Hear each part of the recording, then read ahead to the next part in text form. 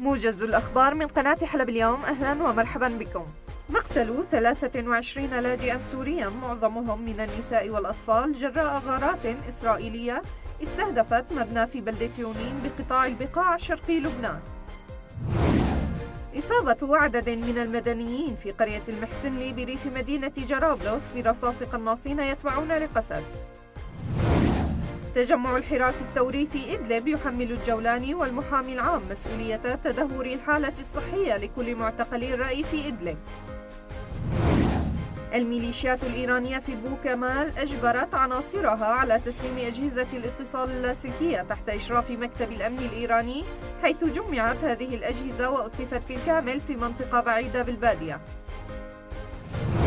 مجهولون يستهدفون مركز أمن الدولة التابع لسلطة الأسد في مدينة إنخل شمال درعا بقذيفة من نوع آر بي جي عند منتصف الليل.